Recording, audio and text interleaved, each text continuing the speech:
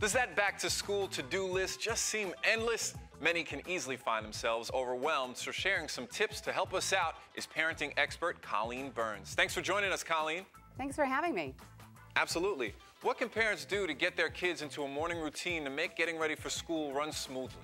Well, much can be done in advance to make sure that morning routine is a little less hectic. Of course, laying out their clothing the night before, that's important. Making sure each child has his or her own spot where all of their things are stored and belong so they can always find them, their backpacks, their schoolwork, etc. Also packing their lunches the night before. That can save you time in the morning. You're not as rushed. You can list your children's help creating their lunches. And you can also talk a little bit about nutrition and why you're packing what you're packing. Protein, for example, so important in maintaining and building those muscles and organs and sustaining their energy throughout the day. I found three products. They're quick, easy ways to add some protein to my children's lunches. Hormel Rev Wraps, they have 15 grams of protein per serving. That's significant, and they're also created with teens and preteens in mind. So they come in great flavors this year, in fact, bold flavors, which they love. Also, these small little containers of Lloyd's barbecue pork, chicken, and beef.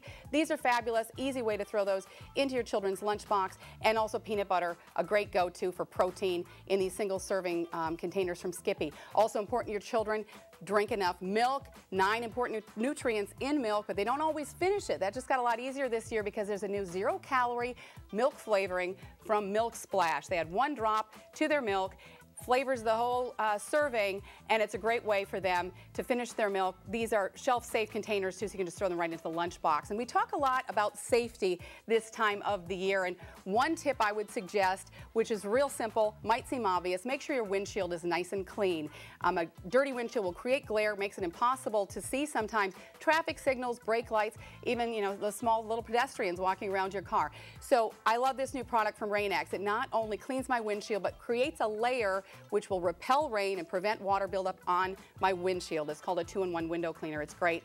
And if you've got a child driving to school for the first time or going off to college, safety also a concern, but also affordability. Cars.com has just come up with their list of most affordable vehicles, and the 2015 Mitsubishi Mirage this year is the most affordable vehicle out there.